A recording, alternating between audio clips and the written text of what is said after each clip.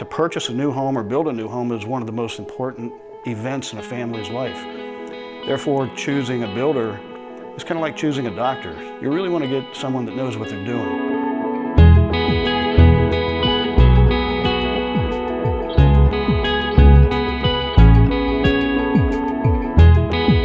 I remember you know, growing up as a child, getting up on Saturday morning, touring the job sites with my father.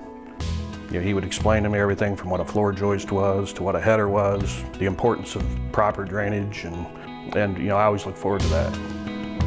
As a third generation home builder, myself, I have over 25 years of experience. Um, it's been fun, interesting, and exciting to see the home building industry evolve over those 25 years.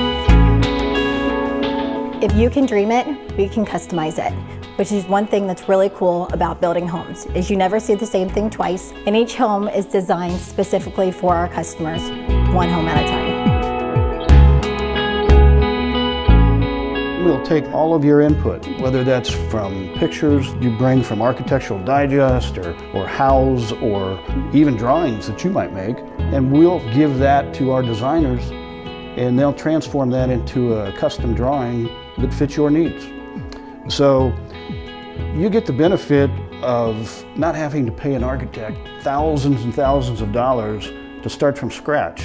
Know, we already have the foundation, and we take your vision and build on that foundation.